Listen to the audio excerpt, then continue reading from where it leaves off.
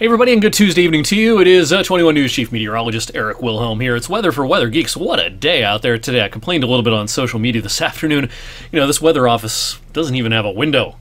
And if we had a window, it'd be nice if it could open because it was just that nice outside today. Our warmest day in about three months. We officially hit 64 at the Youngstown Warren Regional Airport today, marking the warmest temperature since November the 3rd.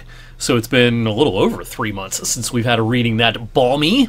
This is a full 40 degrees warmer than our high temperature was on Sunday. What a turnaround over the last couple of days. And two days from now, it'll be a day a little more like Sunday rather than today. So it's a, a time of the year in which wild swings can occur, and this week is certainly no exception. We at 70 down in Wheeling this afternoon, 67 in Pittsburgh, 66 in New Philly, up in Cleveland, 63, and we matched that 63 over in Akron this afternoon. All right, on the uh, national weather map this evening, I plotted up the isobars, the lines of equal pressure, all the white lines on the map here.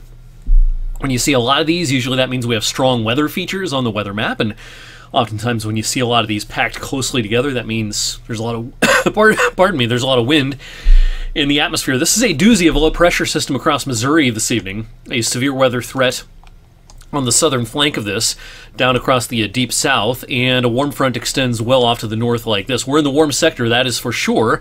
We're going to stay very balmy tonight and into the day tomorrow. But the first thing we'll get is actually a period of rain, which will hit our way overnight for tonight, and then tomorrow, you know, the forecast becomes a little more interesting. Today's day two severe weather outlook from the Storm Prediction Center. With the overnight outlook, they upgraded uh, the farthest east counties in Ohio and into western Pennsylvania up to a level 2, slight risk of severe weather. They pretty much maintain that with a midday update for today. Now, if I were drawing this, I would not have the slight risk as far west as they do. I think, you know, the higher risk of severe weather is probably east of I 79 over into central and west central PA, and certainly down towards Washington, D.C. I'm just uh, skeptical that uh, with the lack of instability that we'll see anything that approaches severe limits in far eastern Ohio and far western Pennsylvania.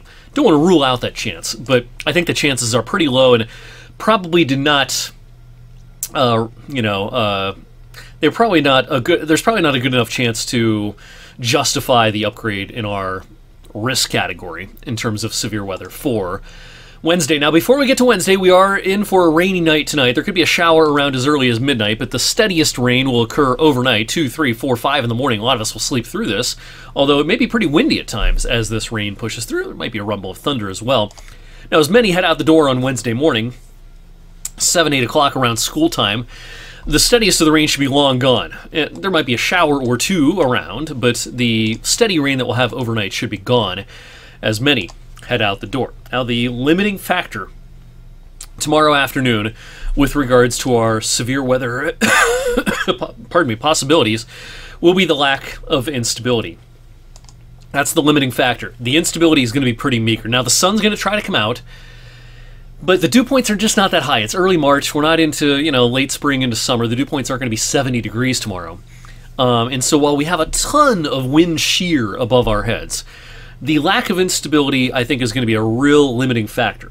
But because of how much shear is above our heads, it's still a non zero risk, certainly, that any storm that does manage to get up on its feet could pack a punch. I think our window, if we're going to see any severe weather Wednesday, would be mostly between 3 and 5. The number one risk, of course, would be a damaging wind gust. With the kind of wind shear we have overhead, the tornado risk is probably not zero, although I think it's pretty darn low. Um, I think while hailstones, something that also can't be ruled out, I think the risk overall is on the lower end, perhaps a little higher once you get into interior Pennsylvania, east of I 79. So, bottom line, I know I'm, i sound like I'm poo pooing this a little bit, um, but I do somewhat disagree with you know having us in a slight risk this far to the west tomorrow afternoon. I just, you know, I, I think the lack of instability is, is really going to be the Achilles heel of this system. That being said, the sun is going to try to come out as we head towards midday. The, the breeze will pick up. And here's one run of, of one computer model. We call this sometimes our in house computer model. And it's very unimpressive with what it depicts mid to late afternoon. Yes, it has a scattering of showers, but that's about it. It really doesn't have anything portrayed that you know, looks very severe. There'll be a gusty breeze. Certainly, you want to secure those loose outdoor items, storms or not. It's going to be pretty blustery, especially during the second half of the day tomorrow. Now, as we roll this forward, we get into a little bit of a, a break, I think, for Wednesday evening before the moisture tries to return, and by that point, the cold air will be trying to return, and I think there'll be some snowflakes in the air Wednesday night into at least the first half of the day, Thursday, the best chance for flurries probably winds down by early afternoon on Thursday. The sky will then clear some Thursday night. A pretty quiet start to Friday. This next warm front might try to spread a period of light snow or flurries our way late in the day Friday. Might be a few raindrops mixed in at the onset.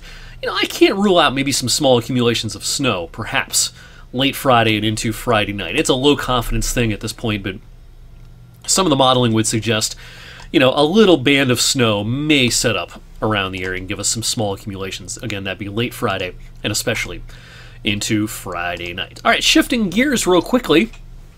Why am I talking about May 31st, 1985? Well, I'm starting to put together uh, a presentation I'm giving at Ohio State uh, coming up in a couple of weeks. I'm going back to my alma mater to speak at their annual uh, uh weather symposium. Now, 100 years ago, when I was at Ohio State, I was uh, part of the meteorology club and, and part of uh, the, the, group that organized this one day weather conference every year during my last couple of years at Ohio State. And they were gracious enough to invite me to, to uh, join a nice list of speakers this year. And, and my, my topic is going to be the upcoming anniversary of the May 31st, 1985 tornado outbreak. We're going to be talking about uh, that outbreak a lot here on Weather for Weather Geeks and on our newscasts and on our online platforms over the next couple of months. Here's the uh, lineup of speakers at this weather symposium. Now, if you're a weather geek, if you watched this deep into Weather for Weather Geeks on Tuesday evening, perhaps you'd be interested in attending. Maybe, you know, this is something that you could possibly do. It's, it's free to attend.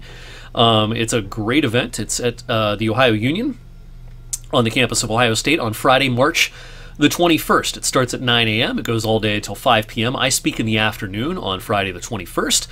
I'll be joining uh, a list of lumina- luminaries here, including the Weather Channel's Mike Bettes, uh, an Ohio State graduate himself, um, and, and a, a, range of topics will be discussed.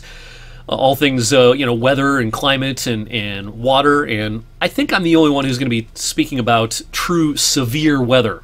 Um, and uh, so that'll be really interesting. And of course, you know, this talk that I'm going to be giving in a couple weeks at Ohio State dealing with May 31st, that's a topic we're going to be revisiting a lot on this video. I'm going to be giving some talks here locally over the next couple of months. And as I mentioned, we're going to be uh, kind of diving into the 40 year anniversary of that historic severe weather outbreak back in 1985 quite a bit over the next couple of months. So again, I'll be talking uh, a lot about that, and I'll keep reminding on this video I'll keep up doing some reminders, I should say, of uh, that uh, symposium at Ohio State coming up in about two and a half weeks on the 21st. Really looking forward to that. And I'll see you back here on Wednesday. We'll uh, recap whatever happened Wednesday afternoon on Weather for Weather Geeks. Hope to see you then. Have a great Tuesday night.